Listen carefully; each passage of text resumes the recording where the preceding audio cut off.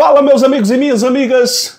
Finalmente, depois de dias turbulentos na economia, o ministro da Fazenda, Fernando Haddad, conseguiu contornar a crise e o dólar, que havia disparado um pouco, diminuiu, deu uma recuada. E o Haddad foi elogiado pelo Lula, que está na Suíça, em Genebra. Pois é, neste dia 13 de junho de 2024. Curta o nosso vídeo, comente e compartilhe. Vamos interagir, vamos engajar esse vídeo.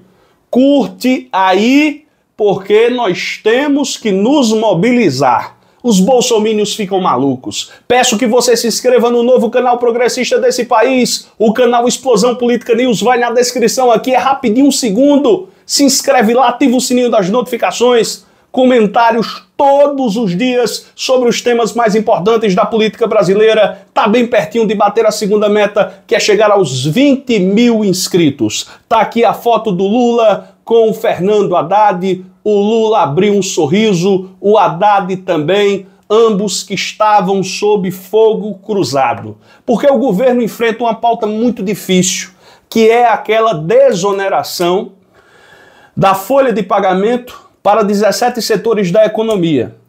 O ministro Fernando Haddad tentou enviar medidas compensatórias para o Congresso Nacional. Porém, houve reações dos mais variados segmentos, principalmente, principalmente do agronegócio, o agro mais radical, que apesar do Lula ter feito muito mais do que o Bolsonaro em apenas dois anos de mandato, o presidente da Confederação Nacional da Agricultura e Pecuária prefere né, ficar na picuinha política e na politicagem, se recusando até em conversar com o Lula como ele fosse maior do que o presidente da República.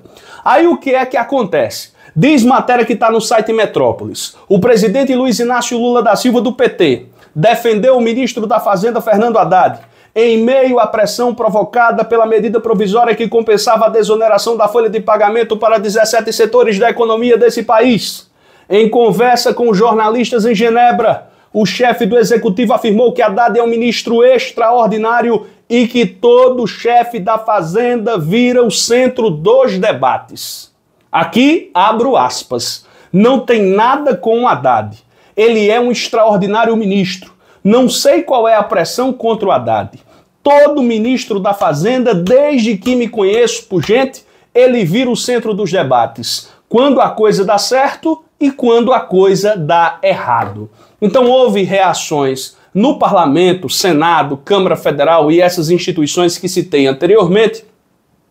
E tava um clima, né, meio de tensão, uma coisa realmente é, é, é, é meio complicada. O que foi que fez o Haddad? O Haddad recua em relação à MP do PIS e COFINS, né? Aí diz o seguinte, que essa medida pode ser debatida no futuro e com isso o mercado ficou mais calmo, né? Deu uma relaxada e o dólar deu uma diminuída. Interessante que na época do Bozo o dólar chegava a, seis reais e ninguém dizia nada. Ninguém falava nada estava tudo certo, estava tudo ok. Quando eu me refiro ninguém falava nada, os jornalistas de economia. O dólar a, a seis reais, né? Porque Paulo Guedes foi o pior ministro da economia desse país. E eu não vi o presidente da Confederação Nacional da Agricultura e Pecuária falar mal do Paulo Guedes, né? Agora do Lula, que incentivou o agro com o maior plano safra da história, ele detona. Realmente a ideologia partidária de vocês é muito forte. Vocês colocam a ideologia partidária, o extremismo, o radicalismo acima das benesses para o setor de vocês.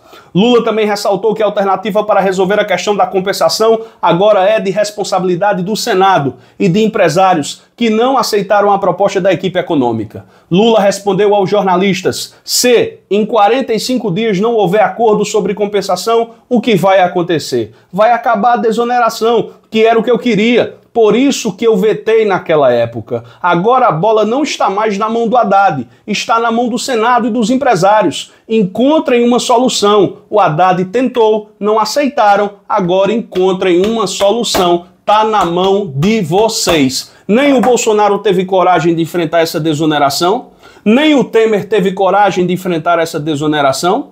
O Paulo Guedes não teve coragem, mas o Haddad tenta organizar as contas do país, do país que foi destruído pelo Jair Bolsonaro. Ainda sobre essa viagem do Lula a Genebra, na Suíça, eu achei muito importante quando Lula foi indagado por um jornalista sobre uma declaração dada pelo presidente da Ucrânia, Volodymyr Zelensky.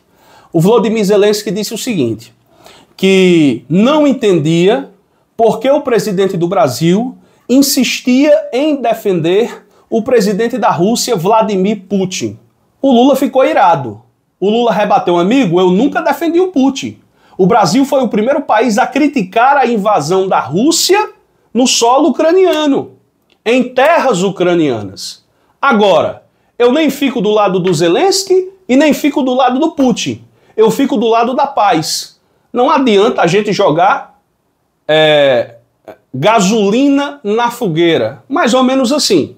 No dia em que o Putin e o Zelensky quiserem sentar numa mesa de negociação, eu estarei pronto para negociar. Aí o jornalista foi mais além. É, mas o senhor é favorável, por exemplo, a, a, a que a Ucrânia ceda territórios para a Rússia? O Lula disse, amigo, eu não estou sabendo de nada. Isso aí vai depender deles. Agora, um acordo, eles têm que chegar a um acordo. Porque não adianta. Como ficará a Ucrânia daqui a 10, 15 anos se essa guerra insana continuar? Parabéns o Lula pela sabedoria de dar a resposta correta. Porque quem foi bajular o Putin lá foi o Bolsonaro. O Bolsonaro foi bajular o Putin. É um bajulador. Agora tem uma coisa: puxou o saco do Putin mesmo.